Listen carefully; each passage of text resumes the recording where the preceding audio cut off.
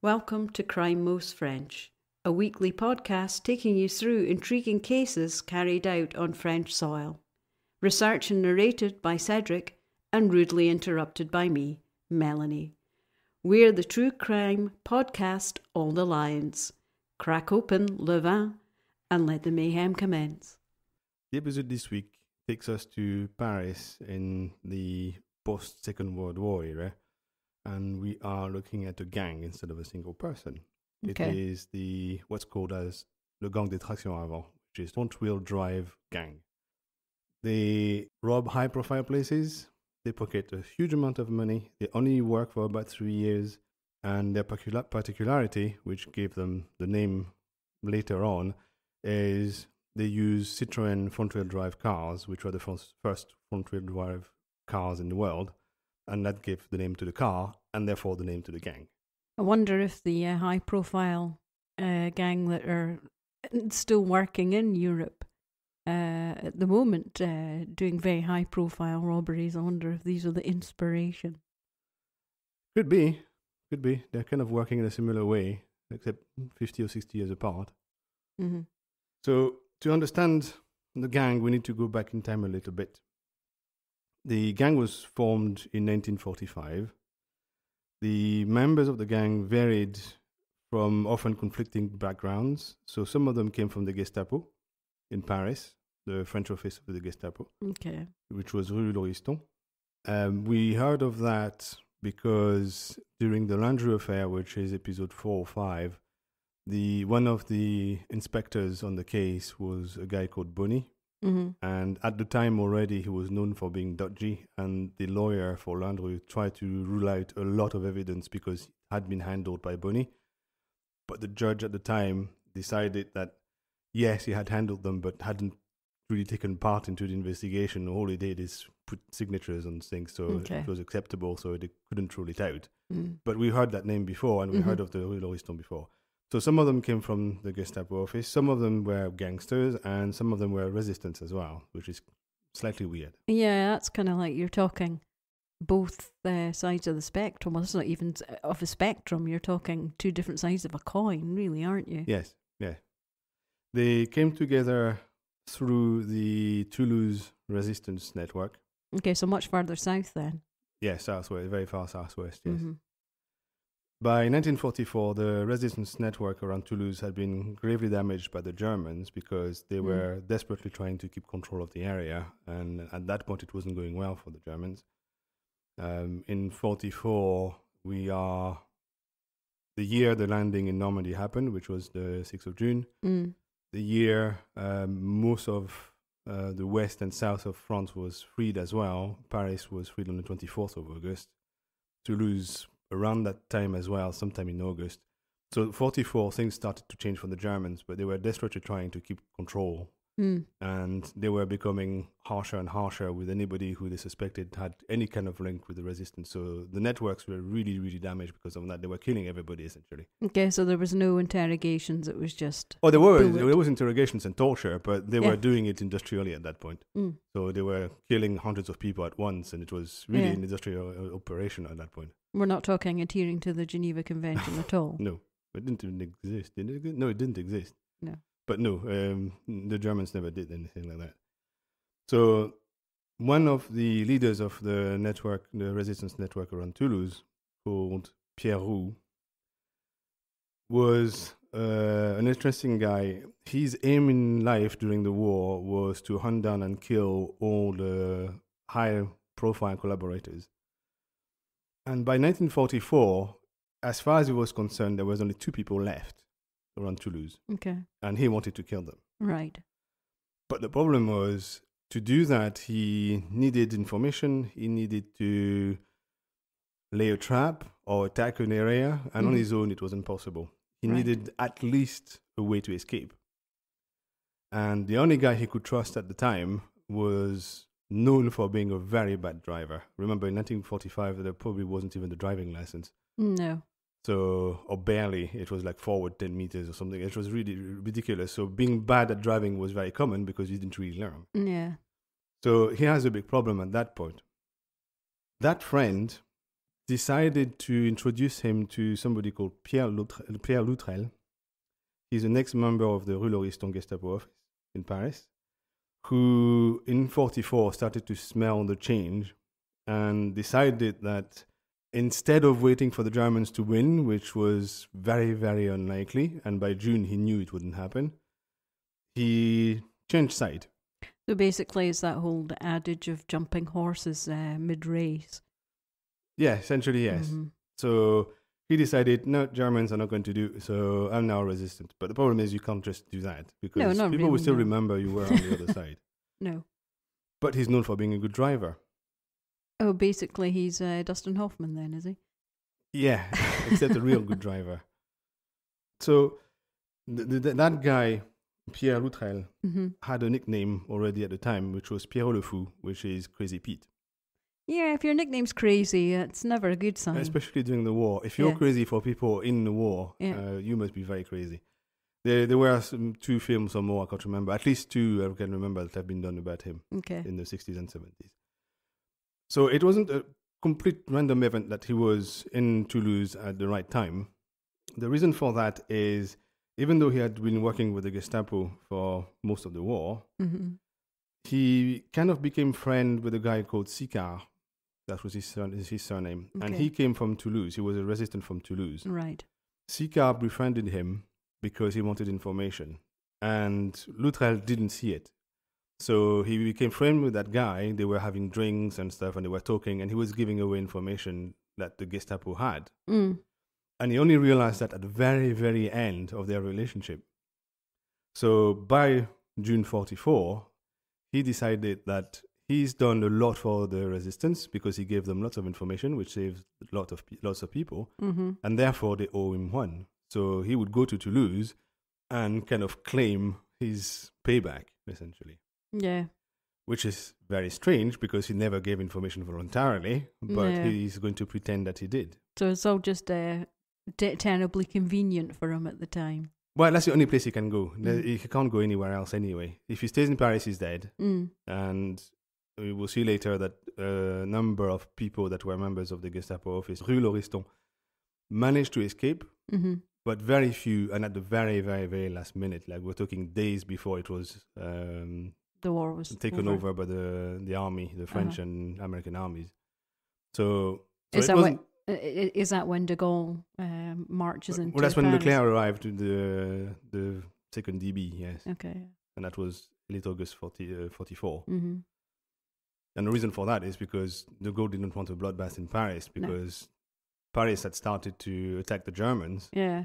and he was worried that the Germans would fight back Mm. and just kill everybody and destroy everything. hmm The guy who in char- the German in charge of Paris had been asked to completely destroy Paris before he left, and he refused. hmm But he was worried that the Germans would just fight back, so he sent the closest um, French um, armored division that Okay. he had, which was the Leclerc one, the second DB, to It Paris as fast as he Leclerc, could. So he mhm. bypassed the Germans, he bypassed the Americans, he bypassed everybody to be there as fast as he could. And Yeah. he arrived on the 25th or 26th of August in Paris. But anyway, So, So so, that- so, we- what you have is is crazy Pete uh, being pumped for information, and then suddenly realizing he's been pumped for information, and then decides to go with that, and then decides to jump in bed yeah, where- with the resistance in yeah, Toulouse. when the Americans start to move a bit close, he Mhm. realizes that he had no Yeah. choice. He's going to be Yes. he's going to be He's- killed because yeah, he's, he's, either jumped Gestapo. or he's going to be pushed. yeah. Exactly. So he had to Mhm. go somewhere, and he remembered that guy, Mhm. and he thought, okay, I'll give them information, so they owe me something. Yeah, So I'll go there and Mm. chance it essentially, and that's what he did. So that's why he ended up in Yeah. Toulouse. but I, but I like how the fact he, he's like, I gave them information. Well, you didn't Yeah. really No, give them didn't. information. You were pumped for Yeah, information. yeah, no, no, he didn't do anything voluntarily. Yeah. He just gave them information because he was drunk. Yeah, but he he thought he would use it to his advantage. Yes, yeah. yes that's what he did, and that's Mhm. how he contacted the the network, the resistance network Yeah. around Toulouse. He was saying, "Oh, I gave you lots of information via Sicard. yeah, I have now want to be part of you." yeah. And luckily enough, he was known for being a good driver. So Mm. when Roux needed a good driver, he didn't really have the choice. So Yeah. When he was introduced to him, he said, "Okay, you can come, I guess." So that's what they did. They did. Yeah, Crazy Pete seems to be quite wily. He may be crazy, but he seems to to be able to read the situation quite well Yes. and adapt to it. Yeah, yeah, yeah, Mm. definitively. and probably collect debts on the way. yes. So for people who then become important and Mhm. useful. Yeah. So Roux and Loutrel decide to um, assassinate a guy called Cavalry, Okay. who was one of the high-ranking Gestapo members in Toulouse, hmm and it goes very well. They shoot him in a bar just opposite the German gendarmerie, Wow. so on the other side of the road. That's ballsy. Yeah. So Roux went in, looked around, saw the guy, shot him twice, and Mm. get, got back into the car, and they were gone in like minutes. Mhm. Nothing, ha- no, no, nothing could be, could be done to stop it. Yeah.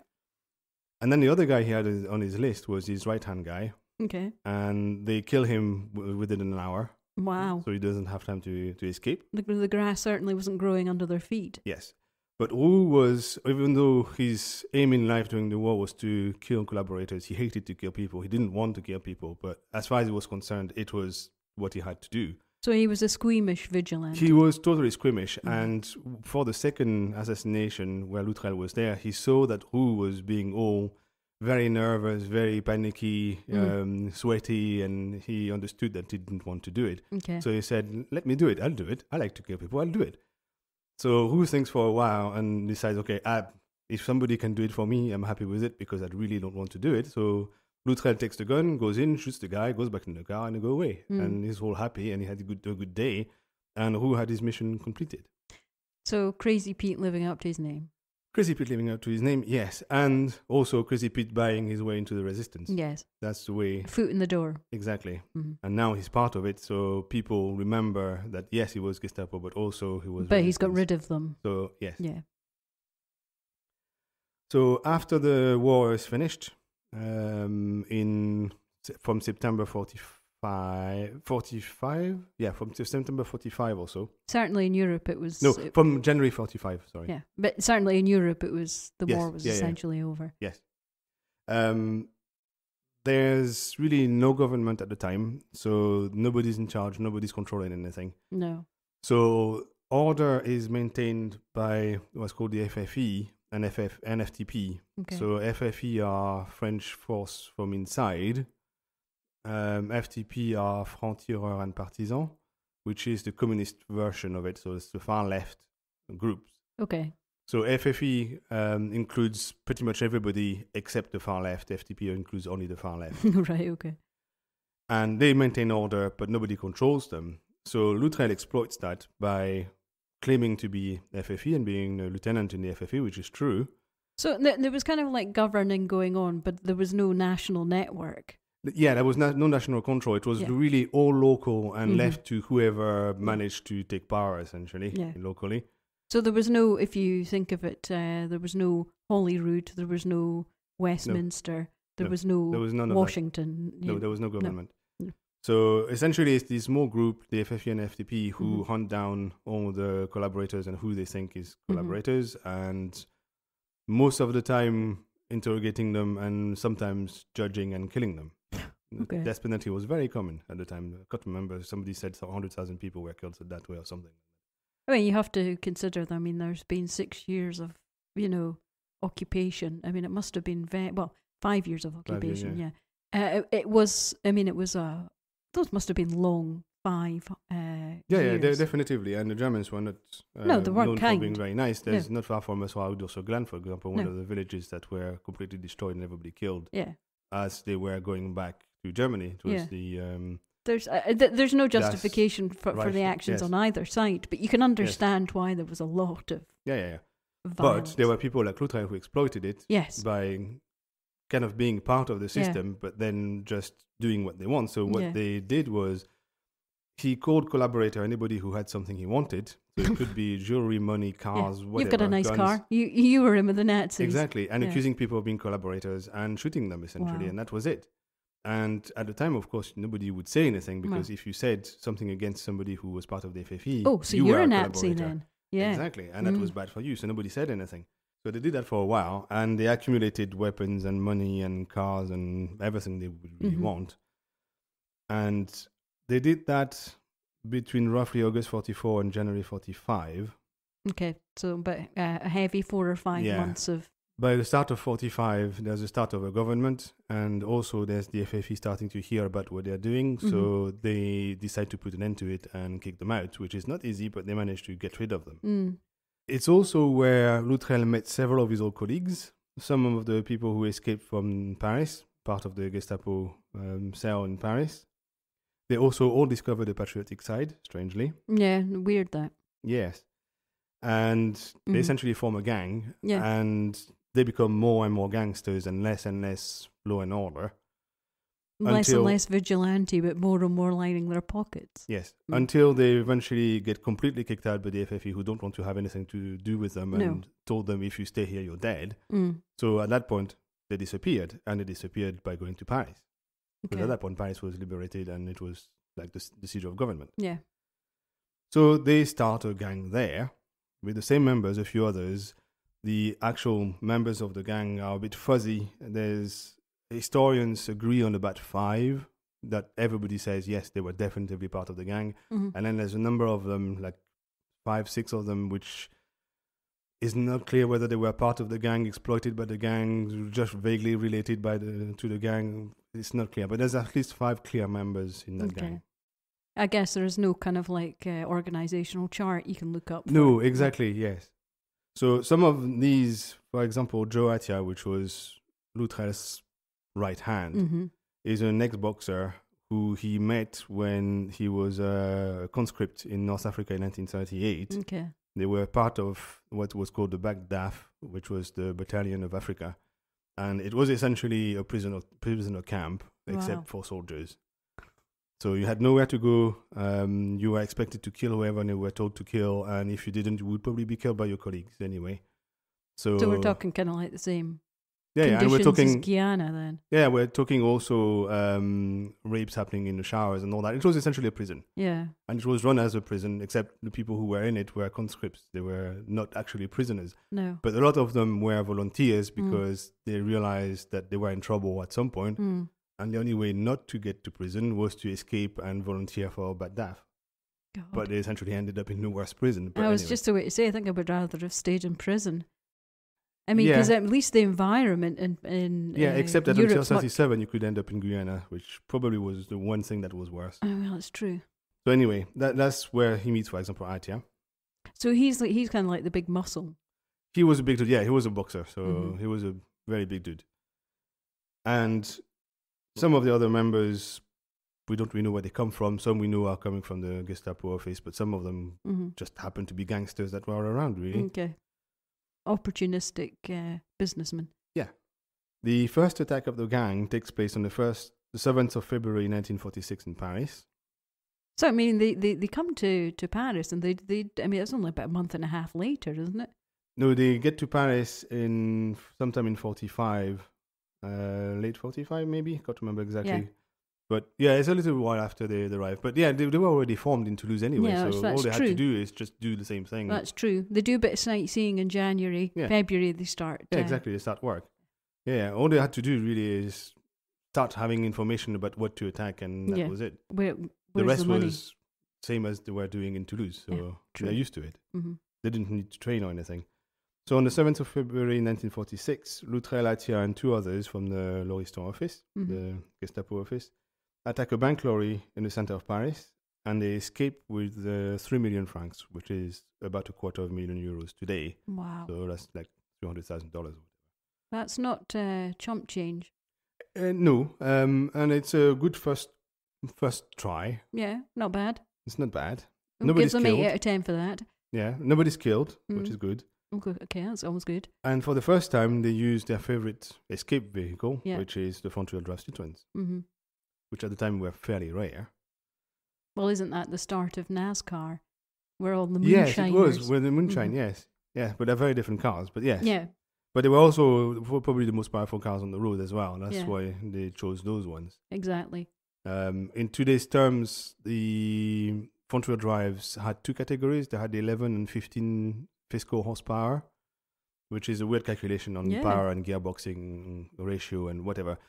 Um, but that's 15 now is a category where Porsches start. All right, okay. So that gives you an idea of So there were punchy. car. Punchy cars. There were punchy cars, yes. Or, or poke, I think, is the uh, the technical Okay. term. It's the same thing gangsters did in the UK when they Mm. were using Mark IIs. Yes, yes. it's the same thing. yeah. They were the most powerful cars around that they could get their Yeah. hands on, and that, that was it. That's what they were using. Exactly.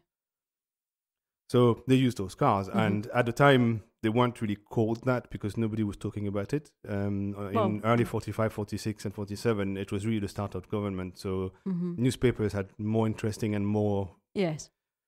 More things that really would interest the public Yeah. to talk about. So they really didn't take about local crime. That at, the, at that time it was just seen as yeah, it's a small gang. They're doing small things. Who cares?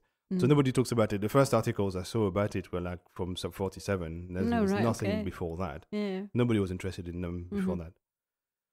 So anyway, that's their first and their first coup, and it worked okay. Mm. So three days later, they attack a post van Wow. near Gare de Lyon, and they Three get eight days. million francs. That- So that's a bit more. We're getting close to a million euros. I mean, that's not bad. That's quite good. Split between five people. Yes. And we don't know how how it's split. Uh, it could be even or it could be uneven. Who knows? I have no idea. I, I've never seen any mention of how the money was split. No, no, I wouldn't think Crazy Pete would be really into kind of like a fair share. Yeah, but at the same time, yeah, he likes money, but at the same time, he- liked to kill more people as well. So he was getting something, even if there was no money in, involved. But Well, who that's knows? very really true. don't and know. Look, look at the pirates; they were Yeah. very de- uh, democratic. Yeah, exactly. Yes. So, So we just don't know. I guess you can't we don't tell. know. Yeah, I don't know. But to me, Crazy Pete doesn't sound like he would give up a an equal share. Probably not. Just after that, the gang splits up, and Loutrel goes to Marseille hmm and the Mediterranean coast in general. Okay. There, he meets with other old acquaintances from various places, most of them from gangs and uh, mafia and all that. hmm And Atia stays in Paris with the rest of the gang. So Atia has to gang with him in Paris. Loutrel goes down, makes another ga- a gang because he knows people, and they start attacking things and stealing money. Crazy Pete seems to be uh, have itchy feet.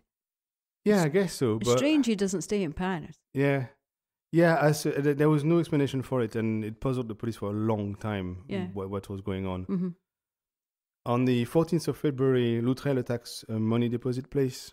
Um, at the time, because the banks were a bit new, there were money places. We talked about it in uh, another gang story in the previous episode.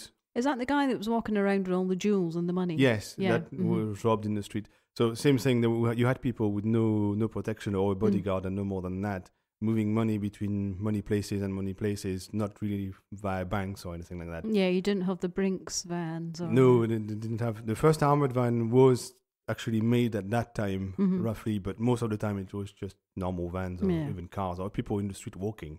crazy. So yes, so they attack one of these money places and they take 2.5 million. On the 14th of March, they attack an EDF, that's the electric company, still exists, Mm-hmm. van, and they steal Boo, 1.2 EDF, million. boo. Um, in the meantime, Atia, who's still in Paris, How much did you get from EDF? 1.2 million. That's a lot of money Yeah, it's uh, for the Lecky company. Yeah, but it's probably pay. Employee pays. Oh yeah, that's pays true. people were paid in cash because they Yeah. didn't have bank accounts or anything. So, Yeah. so lots of cash was Good moving point. around at the time. Mm-hmm. So Atia attacks a man carrying money for the employees of a factory, and he steals seven million.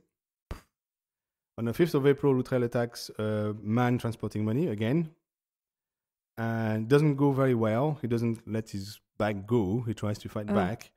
The bag contains only seven hundred thousand francs, so really not much. We're talking maybe two hundred thousand euros, so it's not a huge amount of money. Probably even less, actually, one hundred fifty thousand. I it's still wouldn't sniff at it, but yeah. Yeah, yeah, but for For, for, the risk taken, Yeah. and it's not worth it. But anyway, um, he's shot because he didn't let the bag go. Mm, And the witnesses describe a guy who was totally drunk doing all the killing. okay. At that point, the population is becoming a bit uneasy and outraged that this is happening in the streets of Marseille and nothing's happening. Marseille is quite a. Oh, there's a mafia in Marseille still. Oh, no? it's Yeah, yeah. it's a Ma- very Marseille is edgy. it's a very edgy, it, and it Yeah. still is. Yes, still is, yes. I mean, Yeah, you yeah. have uh, because you've got the ports uh, because it's a big, huge main port, and Mhm. people coming from, uh, you know, all over the Mediterranean. It is. I've never been there. I've always been a bit scared. To, Yeah, the the places you have to be careful in Mm. Marseille. Yeah. Um, but, but because people are getting pissed off and complain, the Mm. police is now starting to find those people. So they Mm. do house to house searches and all that. They It doesn't get anywhere, but at least No. they're starting to do something. No CCTV. Or... No. On the 20th of May, the gang attacks a bank in Aix-en-Provence, so they attack a proper bank this time. They get And- very little out of it. They get 45,000 francs. That's quite away from. Uh, Aix-en-Provence, yeah, Yeah. well, it's down the coast. It's Yeah, not yeah, that far. It's probably about an hour and a bit from Marseille. I guess so. not very far. And they do it again a week later because you never know, there might be more money the next time. They hit the same bank. Yeah. Oh, that's savage. On the 8th of June, after stealing a safe, They steal a safe. they steal a whole safe. They don't Oh. have time to open it, so they just take it. I, I'm taking it's not one of these wee portable ones you, you have at home. no, that's something that's probably the size of a big cupboard and weighs tons. So, oh, they're not using the Citroens to uh, transport. no, for that, they would have a van or a, a lorry. That's crazy. Yeah, yeah, they- they're organized. They, they know what they're doing. Logistically, how are you going to move it safe? But you would have to have a lorry, a number of people, and load it in the lorry and go away, essentially. It's doable. It depends on the size of the safe. Mm. If it's too heavy, you did a crane, but I don't know what the size was. They are nearly caught at that point, not surprised. but they manage to escape by shooting at the gendarmerie and they injure one of the gendarmes, but doesn't die. Mm, okay. On the 1st of July, mm, tipped, up by a, tipped off by a post office employee, that's probably how they got a lot of their information. hmm Loutrel attacks the post office and they leave with 33 million francs at that point. So we're talking several millions in today's money, two or three millions. I mean, if that was That's me, I would have been retiring to Guadeloupe and just not thinking about anything else. Yes, but when you're a gangster, you like the, the gangster life and you like you like to do things. And True. You don't want to be living in a small hut. Yeah, there's a reason why most gangsters eventually get caught. It's just they can't stay put. They can't just disappear and live a very quiet life somewhere away from uh, where they did their things. Mm. They just they, they can't stay put. They have to do things, and that's how they get caught. Look at um, BTK. Oh, yes. He had managed to escape being caught for like 30 or 40 years. yeah, but he just couldn't leave it. he couldn't just leave it alone. He had No. to do something. He had to boast about it and Yeah. send letters, and, Yeah. and he got caught. And gangsters are gangsters and killers are really stupid most of the time. Yeah, but he was a dumbass boomer that didn't know technology. Yeah, but uh, if it hadn't been a, a floppy disk, it would have been something else because there was DNA on the stamp. There was lots of things. Yeah, yeah. So uh, it's just that's what gangsters do. Mm. So no, it wouldn't. It would never have disappeared and spent the rest of his life, his life on the beach. That would never happen.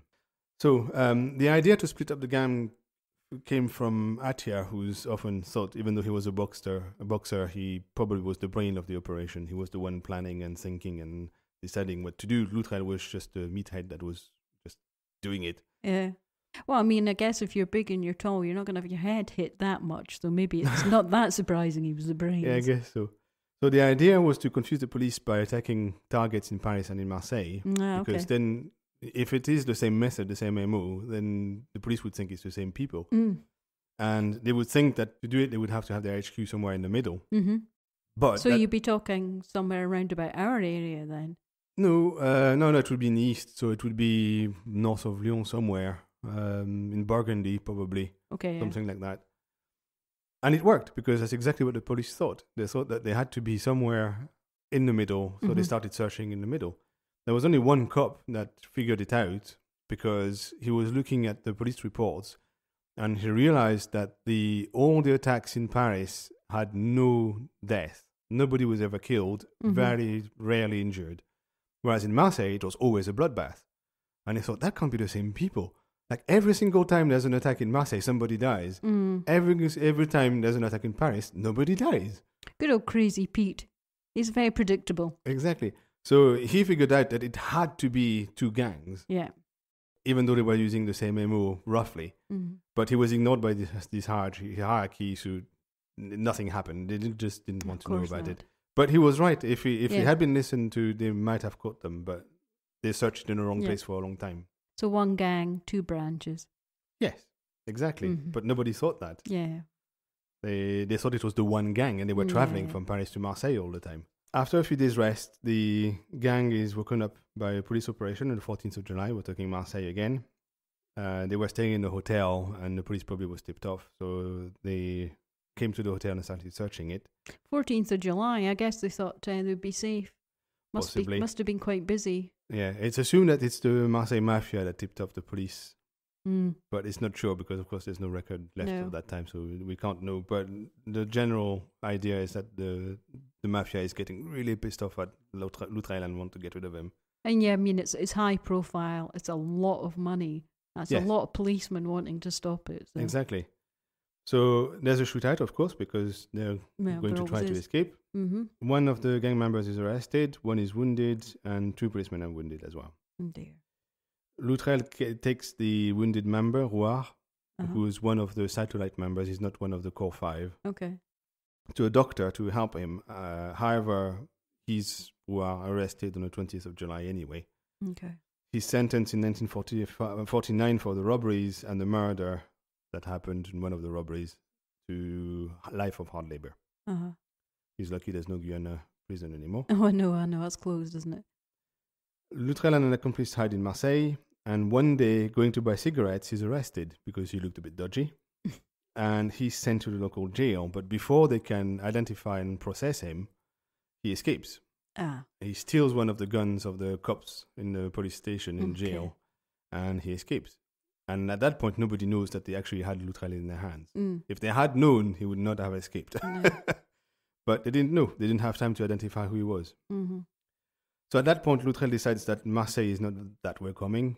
So he goes back to Paris. Okay. He feels the heat, so he goes north. Yes, exactly. In Paris, he lives a high life. He showers people with money. He was known to give tips in the thousands of francs. He drives flash cars. He either steals or buys them. So he can't, keeps a nice low profile. Yeah, exactly. Yeah, mhm. very low profile. He's seen with good looking women. Um, before he went to Marseille, his girlfriend was an exploited prostitute who Okay. was known to be a bit rough looking. and she's out of the picture at that point. She's Oh. replaced by somebody looking a lot better. And he- Probably safer for her, I would think. That's probably why she survived. yeah. I suspect, yes. And he is known for drinking a lot. Mm-hmm. Uh, one day I read a story where there was a guy who had met him in the African battalion Okay. and came to him and said he needed money. And Loutrel didn't recognize him, and the guy told him a few stories, and then he suddenly remembered him, and he gave him gave him a massive um, pile of of um, banknotes, money, right. And told him, "Okay, that's that's here for you. Don't come back." but he was doing that fairly regularly. So, Yeah, so if buying- you could buying- prove that he knew you or you ha- had at some point in the past being his friend, he would give He'd you be generous lots of you. money. Yes, it's easy to be generous when it's not your money. Of course. Of course. So he was drinking a lot, and Mm-hmm. his girlfriend, who's interrogated at some point in the future, uh, says that his breakfast most of the time was two large pieces of toast soaked in Armagnac Cointreau or pure pastis and a bowl of champagne. Well, in the words of Kurt Vonnegut, breakfast of champions. That's the breakfast from champions. Yes. I'm very surprised his uh, his name wasn't Alky Pete rather than Crazy Pete. Yes, it should have been. Keep it. Yes. But no, it was Crazy Pete.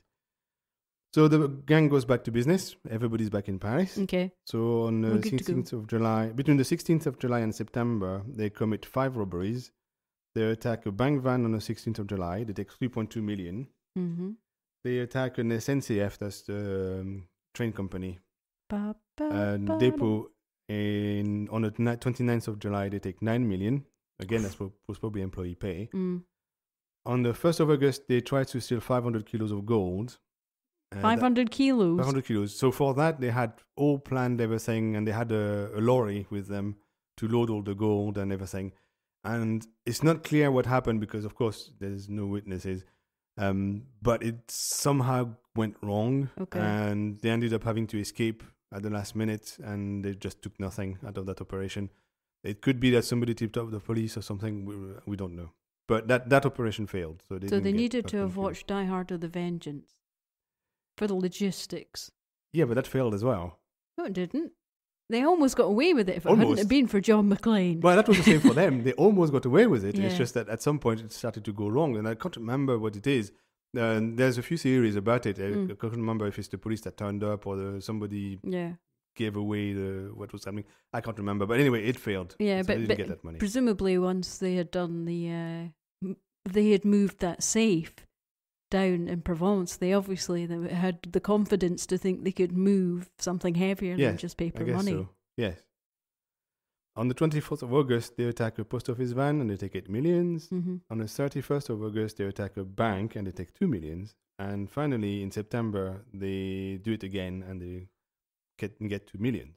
So they're getting probably over 50, 60 million at that point. That's crazy. At that point, the police knows the gang. You know, they know who's in the who's in the gang, and Yeah. they know that Loutrel is the leader. Um, mainly because people eventually recognize him because he he he's not discreet, uh, as we saw earlier. Yes. Um, he doesn't lay low, No. so the same people see him at a Mm. bar, for example, and later on attacking a van in the street or something. Yeah. So people are starting to say, "Okay, yeah, I know who that is. That's that guy." well, presumably all the criminals uh, know who he is anyway, and the police Yeah, always have good CIs. So yeah, yeah, of course. uh, Yes, and at, at that point, most of the police and government had links to the Yeah. to the gangs and to various Mhm. dodgy things during the war. So yeah, definitely, there's still Mm. a lot of contacts between the police and uh, the mafia, for example. But uh, you have to admire the fact that they work very, very fast. Huge, Yes, huge amounts of money, very, very quickly. yes. If only they had a good exit strategy, they, they probably would. But they had a good exit strategy, and it was the cars, and it Well, worked every yes. single time. They were never caught because of the cars. They were always either Yeah, that in the cars and they would escape. that's that's their like leaving from the uh the this the scene of the crime. Yeah. I'm talking about an actual exit strategy from their Or from the business. yeah from the oh, but none of them wants to leave the business. It Uh, makes no, I mean, too much that's- money. That that's where they went wrong. Oh yeah, totally. Yes, you have to know when to stop. But Yeah. most gangsters don't. No. They just want more. No, as uh, we as we already discussed. Yeah. So at, at, at that point, they knew who the leader is. They knew Mhm. who the members are. Yeah. And also, the police find very strange that they're always super well informed, so they know exactly when to strike and how, and how to get out very fast. Hmm. So they're starting to think that there might be links between them and various places, Yeah. banks and whatever. Lots of leaks. Yeah. But that really pisses off the interior minister, who doesn't want to have a scandal where the police, for example, is shown to be linked to gangs Hmm. because he himself is linked to gangs and Yeah. doesn't want it to be Oh, known, dear. so he doesn't want any noise in that direction around him. So he charges the police to find them and tell them to use whatever means are necessary. Yeah. And it was understood at the time that it was really needed to be killed. Wanted dead or alive, Mo- preferably mostly dead. dead. yeah. Mhm. Th- At that point, the police starts working properly, Mhm. actually trying to catch them Okay. instead of just vaguely guessing. Oh Making yeah, oh, noises. it's them. Okay, off, Yeah, off they're gone already. Mhm. Now they're trying to catch them. So in September, they receive a tip off. The gangs spend a lot of time at an inn in Champigny-sur-Marne, so it's south of Paris, Okay. in the suburbs. They set up a surveillance operation for a while to know who's who, who goes where, when, Okay. and what, which bars are really the ones where the gangs go. Mm. Because at the time, remember, it's the 50s, so there's a bar at every street corner. Of course, yeah. So they need to know where they go exactly so they can do something about it. At some point during the surveillance, a car is spotted on the side of the road, and three people were in it. They looked very drunk or asleep, probably because they were drunk in the first place. So the cops go and investigate, and one of the cops goes to the car and he spots that the reg plate of the car is a CD plate. CD are the two letters C and D, which on French plates means Corps Diplomatique, which means Ah. uh, it's an an embassy car. Oh, you know I'm going to do it. Diplomatic immunity. Exactly. And for that reason, normally mm, CD plates don't get fined, don't get No. stopped, whatever. They can do what they anything want. they want. Yeah. Yeah. Plow people down. Yes, Go exactly. through red lights. Yeah, exactly. As we know, it happens, especially in the US. Mm. So he still is a bit surprised that there's a, a diplomatic car in the middle Yeah. of the suburbs of Paris with three drunk or asleep people in it. Yeah. So he goes and has a look. He checks with his um, police station what the car registration is Mhm. assigned to, and he's told that it is a Delahaye, which was the luxury cars at the time. Now it would be a Rolls Royce or a Bentley, Oh, right, okay. and it belongs to the Swedish ambassador, and it hasn't been reported stolen. Okay. So presumably that's the Spanish ambassador. So the guy goes and The Swedish uh, Swedish ambassador, I think he said Spanish. did I say Spanish? Or You said Spanish the second time. No, it's Swedish ambassador. So the cop goes and checks. He talks to the people there. He talks especially to one of the guys who's still awake, mm-hmm. and he doesn't know, but it's Loutrel.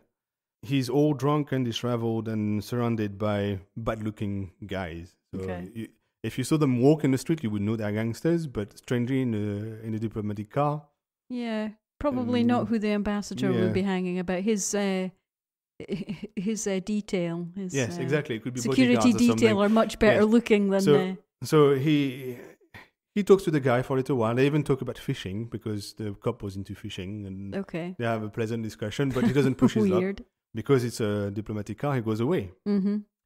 What he doesn't know is that Loutrel had bought the car from the Swedish ambassador, Mm-hmm. totally legally, but forgot between the Albanese to Mm. register to his name. So officially, it's still registered to the, the Swedish ambassador. Ah, He never changed the plates. So Didn't that's really how he ended up having a, a diplomatic car. yeah, but he probably didn't really legitimately buy it. I'm presuming he no, bought no, he it. did, he did. Didn't, but he bought it with hot it. money, though. It Well, wasn't yeah, really well, yeah, technically of course, he had no money of his own. It doesn't work. Mm, So yeah, of course, it was stolen money, but he did buy it. mm, So as far as the, the Swedish ambassador was is concerned, yeah. he had sold a car from the embassy to a guy Yeah. with money, and there was nothing wrong there. But he didn't know the money was hot. Of course not. How how would you know? No, that's true. At the time, people were paying with cash, so it was normal. Yeah. But having a diplomatic car was very useful because you tend to be left alone. Mm, yes. On the 25th of September, they hear that the gang is in one of the inns Mhm. um, in Champigny, and they send 350 policemen, 350 350. for five people. But they don't know how many really, because remember, nobody really knows who's in the gang. They know a few of them, probably the main five, Yeah. but who knows who else in that inn is part of the gang? So they, they don't know how many people are really who they want. Still, 350? But 350 is a bit over the top, yes. It's way over the top. I mean, that's that's uh, riot cr- uh, crowd control numbers. That's ridiculous. Yes. However, when they go in, they find no gang member, Ah. but they hear that there's three members of the gang that are in an inn just down the road. Okay. One of them is Atia. So they move all their hardware to that Mhm. other place and they start again. So quietly and discreetly move 350 people. Yes, they surround the, the bar and everything Mm-hmm. and they call for reinforcements and. What? No, no. And they call for reinforcements. Yeah, yeah, 350 might not enough. cover it. Yeah, yeah, yeah. Oh, God. They even have uh, armored uh, vehicles and stuff. They essentially brought tanks and uh, machine guns and everything. They, they're really preparing for a siege. Oh, they're going over the top a bit, aren't they? A little bit, yes.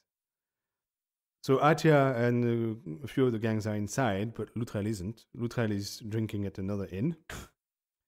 so the siege starts and is run by somebody called Casanova, an inspector. He was Ah. very famous at the time in Paris. He was a good cop. But not that Casanova. Not no. Not ano- the Italian one. Casanova. Another one. And it doesn't go to plan because at some point one of the gangsters goes out of the the bar and start peeing on the side of the, the car the house and one of the cops shoots him. And later he explains that he thought he had a gun. He didn't have a gun, but anyway, he shoots him. So at that point everybody hears it and everybody knows in the bar that That's okay, it. The piece is something is going on outside. Yeah. So after that there's a shootout. Mm. Um, they they shoot everything they can, but they don't hit anybody. So everything's peppered. Essentially, yeah, there's Mm. wall, holes everywhere. The unfortunately at that point the advantage of surprise is gone, and they Mm, were yeah. counting on it, so they Mm. could arrest people instead of having to shoot them. So that was the equivalent of when you're walking in the woods to snap, uh, stand on a dry twig and snap. Yeah, Mhm. exactly, a very loud snap. The owner of the bar, who had nothing to do with the gang, wants to surrender. He wants to say, "Okay, it's not me. I'm I'm nothing to do with those people." Mhm. So he goes to the first floor, who has a- which has a bedroom that goes on, has a window on the road. Okay. And at that point, they had it was night, and the police had all these, you know, the big war projectors. oh, the um, searchlight Yeah, searchlight. searchlights. So they Mhm. had that. They had several of those. Okay. So it was pure daylight around the around the bar. So he opens the window with his hands up to negotiate, and just he wants out, and he's shot before he has time to say anything. Yeah, that was a bit of a foolish move. At that point, Casanova is starting to think that something is going on. There's, there was no reason to shoot that guy. It's two guys who are now shot by his own cops for Yeah. no reason whatsoever. Mm. So he's starting to wonder if his cops have been briefed to Mm. kill everybody so that there's no question asked Yeah. because some people don't want questions to be asked. Nope. So he's starting to have doubts, and he goes to complain to the prefect, who has at that point arrived, Okay. and he brought with him um, the U.S. Army, not for the siege, but just to show them how things are done. and he will regret that. Oh no, that's not how it's done at all. nope. So he complains to the prefect, and the prefect says, "No, no, there's nothing wrong. Just go and get them." Just So- carry on killing people. Yeah, and Casanova understands that the the policy is they want everybody dead, and that's probably what happened. Mm. So Loutrel, who's in the bar nearby, hears by the bar owner where he is that Mm-hmm. something is going on. Yes. Um, there seems to be a network of uh, information between the bar owners at the time. So one bar owner calls another one, who calls Mm. another one, and that spreads. Yeah. So at that point, he's been drinking pastis after pastis, so he, is probably well drunk. Gross. He jumped into his car. He forces his way through the roadblocks. He shoots at the cops with his machine gun. He goes into the bar. The cops don't have time to react because they're just they don't understand how a guy with a car is shooting at them for some Yeah. reason. He goes into the bar, gets the other three, and escapes with with the car. That's just insane. And the cops So- only shoot at him when they start to escape. I mean, uh, he had the opportunity just to leave quietly. Yeah, but that's not what, what he no, does. that's obviously not no. good old crazy Pete to to the No, rescue. Pete and Atia had a special relationship because they had been to the the African Yeah. battalion, of course. and Atia was often often talking about Loutrel as being his brother, yeah. and Loutrel was probably considering the same thing, so he Yeah, considered well, as, o- as his obviously. brother. So he just went and got So him. so crazy Pete swoops in, saves the day, Yes. and then they Yeah. they they scarper. Yeah, and they escape. The car is found later full of holes and flat Mm. tires and everything, but nobody's killed. They steal a number of cars to escape, and the police completely lose this strike. The reason why they didn't go after him is because all the 350 cops came with cars. They had tanks, they had buses, they had lots of things, and the street was essentially completely blocked. They couldn't even get out themselves. That's just They were blocking each other, trying to get out. That's how they escaped. It's now just turning into the end of the Blues Brothers. Oh, it's That's just turning into a farce at that point, yes. It- total farce. Yeah. So they escape. On the 30th of September, one of the gang members is arrested in Montmartre Mhm. after having called a garage for an unrelated reason Okay. that happened to be bugged by the police for another case. Handy.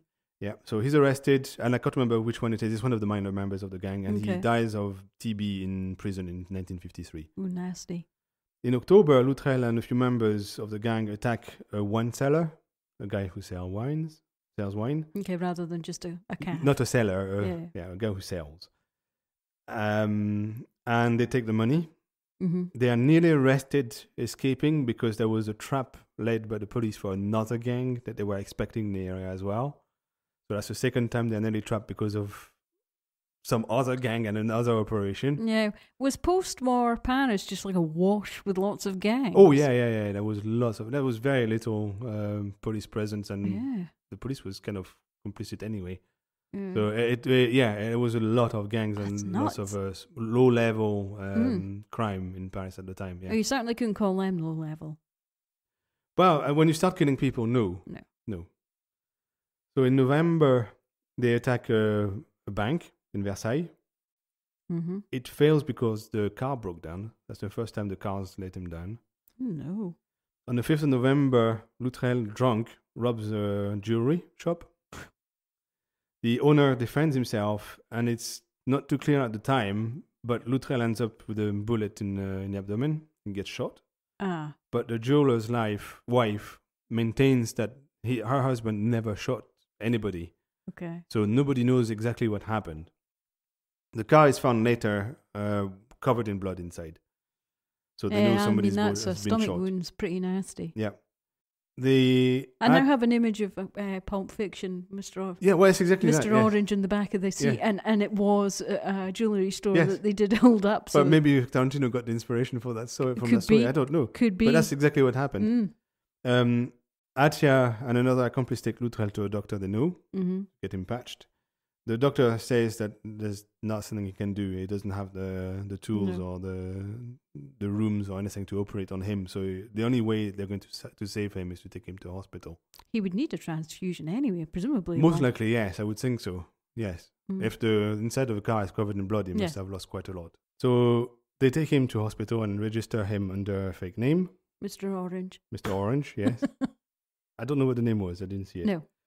The the hospital operates, and the doctor are fairly confident that he's going to survive. Mm-hmm. But he needs to stay in the hospital for several months because he did a lot of damage. He had um, bowel that was uh, through and through with a bullet. Um, his intestines were clipped as well. So there was there A was a mess trauma. in there. A lot of drama. Yeah. A few days later, Atia and a couple of the gang go into a hospital dressed as nurses and doctors. So Okay. they had white coats. Right.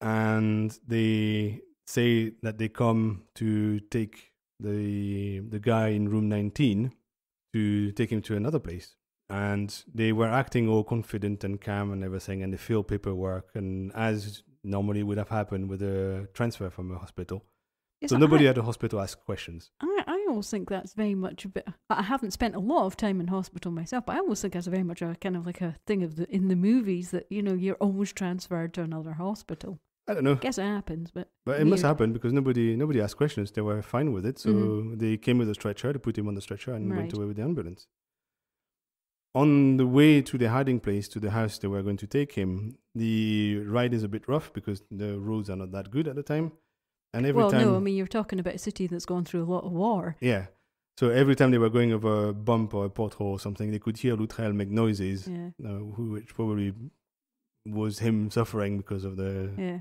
That's also the the transport pre uh, student rights as well. So there'll be a lot of cobbles. It'll be cobble streets, yes, as well. Yeah. Yeah, yeah, yeah. Mm. At some point, uh, Atia and the driver, and I don't remember who that is, had an argument about whether to go slower or not, so that the drive would be a bit more Yeah. smooth. But the driver disagrees with Atia because they have the siren and the lights on and everything, and they're going fast in the streets Yeah. of Paris. And he says, if we go slow, we're going to be stopped That's- by the cops. Yeah, it's going to be Because an ambulance with all these Mm. lights doesn't go slow. It's that Yeah. normal. So they continue going fast. Eventually, they get to the house where they wanted to take him Mhm. but he won't survive. He dies a couple of days later. Oh, come on! I'm denied my shootout, my uh, Butch and Sundance shootout Yeah. in the, with the Bolivian uh, army. Yes. Um, most likely, the transport is what killed him. If Uh-huh. he had been left in the hospital, he probably would have survived. Well, I would have thought so. I mean, if you're going to die, you you die reasonably quickly from bullet wounds. But yeah, I mean, these things all need to be. So they decide to bury him on a small Mm. island on the Seine, and the Seine, the river, has lots of small islands. So they just took he took him to one of those and they bury him, and he won't be find, found for three years. Okay. The doctors examining him later, when they eventually find the body, Mm-hmm. said that the bullet was shot from above, right. which is not consistent with the shootout. No. So the jeweler's wife is right. Yeah. Her husband never shot him. It takes a long time to get down to what actually happened, and mm-hmm. it's only years later that the police manages to kind of put pieces together to, for a story that kind of makes sense. But of course, it's all testimonies from gangsters, so who knows what's true. Yeah. but they they they get a story out of all the interrogations eventually. What they say was the the day of the robbery Loutrel was apparently even more drunk than normal. And the robbery didn't go right because the the jeweler defended himself Mm. and he eventually died as well because he tried to run after the car and was hit by another car on the road oh no. so the jeweler died. But anyway, um, so it didn't go well. So I, uh, was kind of nervous and playing with his gun and stuff. And Atia, who was sitting at the front, uh, was sitting on the back seat. At some point, told him to stop playing with the gun because he didn't want to get shot, because it was all loaded and cocked and ready to Uh-huh. shoot. So Loutrel put the gun into his pants, as gang- gangsters do, yeah. and on the way out, his hand caught his belt and somehow made him pull the trigger, Uh-huh. and he shot himself that way. And So we're talking Pulp Fiction. we're talking to Pulp Fiction, and also the trajectory of the bullet makes sense because it came from above. Mm. So, So basically, they need to drive to find Mr. Wolf to clean up the car. yes, exactly. so that that's that's what probably happened. Yeah. Years later, um, we're talking early fifties. The the police find who the doctor was hmm and they interrogate him and he says that yes they buried the body on a small island so he takes them there Okay. and uh, uh, at first they dig where he says they buried the body, but they can't find anything. And at some point, when they are ready to go and give up, one of the cops pulls on a, a rubber pipe or a rubber hose, and a finger comes with it. So they dig more and they find the skeleton. And that skeleton was below, uh, under um, a whipping willow, as Mm. the doctor said, but not the one he said. He got the tree wrong. So Ah. it was he had the ri- right kind of tree on the right island, but not the right tree. It Oh. was about 50 meters away. Once you've seen one weeping willow, yeah, it was years same. earlier, so it, can, it was obviously a bit confused Yeah. by where, eh, where it was. So they dig at the skeleton and they find that the skeleton had rubber hoses coming out of it. Okay. And that's because of the damage he had done with the bullet. ah, yes, uh-huh. He couldn't have normal No. um, bowel movements and anything, so it was all done by pipes. Mm. And So he these had pipes are the pipes that then. the hospital had put inside him. Yeah. So that's how they know it's him. Right. Okay. So they did find him. He died. End of the story. Mystery solved. Mystery solved. In the meantime, when he disappeared after the jewelry heist that went wrong, hmm a second Crazy Pete appears, Crazy Pete number two, and that's how he's recorded in the police reports. Pierre Fou Deuxième. It- It's Pierrot Le Fou number 2 Yes. Mhm. Yes. Yeah. He he is actually called Crazy Pete as well. it just happens to be that Crazy Pete's obviously kind of like the John Smith of um, of the gangsters. Yeah, probably yes. He's very different from Loutrel. Loutrel was small and scrawny and Okay. actually crazy, Right. Yeah. whereas yeah. Crazy Crazy Pete number two was tall, athletic. Uh, he looked like a boxer, Mhm. and he normally didn't shoot people, so he wasn't crazy. But so he was he's in fact more rational, Pete. he was way more rational, and he was using Crazy Pete as a cover hmm essentially because people talking about him to the cops were talking about Crazy Pete, and the cops assumed It was, It was that, Crazy Pete. that Crazy Pete. because at that time he had disappeared Mhm. and nobody knew where he was. There were rumors. Yeah, he was uh, on the island going dead, around. but yeah. well, yes, he's on the island, hmm but people were saying that he's either hiding in Paris Mm. or some were saying that he's gone to South America and robbing banks in South America with his Nazi friends. yeah. So nobody really knew anything about him. So it wasn't improbable that it was him doing attacks on whatever. exactly. I mean, look look how many different places Hoff is supposed to be buried in, for goodness sake. Yeah. Mm. So so the police actually thinks it's him for a long time, Mhm. and that's how Crazy Pete number two gets away with things Yeah. because they're not looking for him. They don't No. know. They barely know about him. They've heard of him, but that's about it. He's small time. Yes, he's much Pete. lower uh, than Crazy Pete number one, Yeah. but he uses that to as a means to not being investigated. But eventually, he's caught. He does a few good robberies in his Mhm. time, but he gets caught. He escapes many times as well because he was good at escaping. Okay. And once he escaped with a cardboard gun covered in shoe polish. And that worked. He just left the prison that way. oh, that's insane. Imagine ma- managed to kind of like make a prop out of a, a bit of cardboard. cardboard. Yeah. That guy needs to be working in Hollywood. Yeah, he managed to make it look like a 9mm parabellum, as far as I remember in the story. So, so anyway, it does that for a while, but Mhm. it disappears eventually as well. So, Loutrel is dead. Right. Several of the gang have been arrested. Mm-hmm. Some of them are in prison. Some of them are in prison and will die of TB or whatever. Yeah. So the gang is now pretty small. So Atia, the right yes. hand, Mm-hmm. Um, he's arrested in 1947 in Marseille for robbery from 1946. Oh, okay. He's only sentenced at the end of 53 because it takes a long time. Oh, wow. That's a long, yeah, long and time. he's out on the same day, so he doesn't even spend time in prison. Oh, so I mean, when he was arrested, he was kept in prison that whole time. So Yes. Was it was time and as served? soon as his sentence is out, yeah, so he's time served. But man, that's it wasn't. Well, it, it's not clear what it was. The um, one of the thing was that he was in a German camp during the war in Mauthausen, and many people in charge at the time and many famous people had been prisoners there as well. okay. and it testified to his good nature and good behavior in the camp. Uh huh. And it's assumed that that's why he wasn't sentenced to anything. He Oh, he's a good go. dude. He's He's, a, good, dude. Yeah, it's not his fault. It's not him. He's It's only okay. a bit robbing round the edges. Yeah. So he kind of tries to go straight after that. He buys a bar, Okay. uh, which he renames the Gavroche, which becomes fairly famous because lots of uh, writers and stuff spend time at that right. Okay. that bar at some point. So he kind of does that. He does a few robberies, very low in the background for not much money, but only for good good old times when some Just to keep his arm in. Yeah, it's when old good gang members come and say, "Oh, I have a thing. Can you help Yeah. us?" He said, oh, "Okay." So he does it with them, but that's about it. He doesn't do anything, anything more. But his than that. heart's obviously not in it. Yes. He he works as well for the Secret Services, and the Secret Services at the time, it appears, from what I've read, was hiring a lot of gangsters for operations that were under the table, Oh, right, with the Black Ops. black ops. And Atia goes to Morocco a few times um, for unknown operations Mm. uh, against Morocco. One of them was um, the assassination of a very famous um, independentist in Morocco. Okay. What was his name? Ben Barka. Ben Barka, I think, possibly. Um, but he fails Okay. on that one. Ben Barka is eventually assassinated, but it wasn't by Atia. It was another way. I take it Morocco's still kind of like part of the French family at that time, is it? Yes, Morocco got independence in 54. Okay.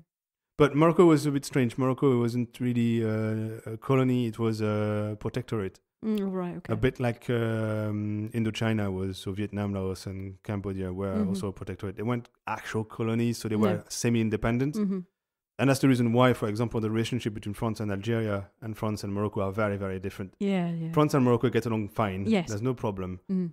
although at the moment it's not going very well, but for other reasons. Um, but until now, Mm. the relationships were, were good. So you could go on holiday to Morocco and they were all welcoming and had no problems against the French. In Algeria, it's a very different story Oh, because God, no. the war in the, of independence was very yeah. bloody. That's nasty. So, nasty. but France wanted to keep Algeria part of France, and it Mm. was at the time not a colony either. Algeria was a department, in fact, two or three departments. It was an actual part of France, Ah, like right, Martinique okay. or Guadeloupe are today. hmm yeah, yeah. So they were part of the country. They weren't colonies, but Mhm. the Algerians wanted independence, and that was that went really bad. hmm So that's why the relationship is very different. But there were some activities in Morocco for independence at the time, and Mm. Needed the Secret to be. Services wanted to get yeah, rid of well, that. needed it to be squashed. And he, at some point, came back from that failed operation. I think it was Ben Barka, but anyway. Um, and on the plane, uh, the plane stopped in in Spain, Right. and he realized that the Spanish cops were searching everybody and interrogating everybody. And at the time, he had a gun, two grenades, and ammunition on himself because he came from an assassination. So he Mm. was loaded with whatever he would have ne- needed. Yeah. And That's that's definitely the days before you have to take your shoes off to go through the uh, yes. security. so he manages to get rid of the, the gun and the, the grenades in the toilets. hmm And he thinks, oh, I'm good. Yeah. And then just when the police got to him, he realized he still had the bullets in his pocket. He had six bullets in his pocket. Whoops. So he's arrested. And when he's taken off the plane, he sees that the person in charge of the airport is one of his old acquaintances from before before the war. Okay. So he goes and signs him and goes and see, sees him. And he shakes his hand with the bullets in it, the six bullets in it, thinking that the guy would keep the bullets so that he's not found with Yeah. those. And the guy just opens his hand and all six bullets fall on the floor. And clink, clink, clink, clink, Oh. clink. And he's at that point sent to jail. I can see that happening in slow motion. Just Yes. them raining down Spain slowly. at the time had a terrorism problem, Yeah. and they really wanted to catch all terrorists yeah. on their territory. So that would have been bad for Atia. He is extradited to France, uh-huh. and the way he does that is to plead guilty to an assassination in France, because then the French government requested him to be sent to France for Yeah. trial. I mean, I think I would have rather spent time in in, in France because I mean, But that was also his Franco. idea. Franco was uh, that Yes. wouldn't. That's not a good government. No, so the Spanish sent him to him to France, Yeah. and he's then tried in France, and he said, oh, "No, I didn't do any of that. I just." pleaded just said guilty to that that just- because I didn't want to be in jail in Spain, yes. and he gets away with it. wow. Okay. So he's let go Big because he actually had nothing to do. He had a good alibi for the for the, the case he pleaded guilty, guilty for. Oh, they actually handy. check, and he wasn't there. He couldn't possibly have done it. That's couldn't have been involved. Handy. Very So they let him go because what good, else could st- do? good strategy though. That was a good strategy, but he couldn't go back to Spain, obviously. Yeah. So eventually, um, he does a few of those and mostly retires. And in 1972, he dies of throat cancer, most likely. Mm, He was known to have cancer and probably died of that. okay. The Guess other members over time also get caught or shot or Okay. sentenced to death. Uh, Mhm. some of them even by military trials. So by the end of the 50, 50s, the whole gang is pretty much Caught. decimated, and by the end of the 70s, they're all gone. They're all dead. Yeah. And that's the end of the front wheel drive gang. Oh, well, I think the moral of the story is playing with a loaded gun can lead you to looking like a Quentin Tarantino film.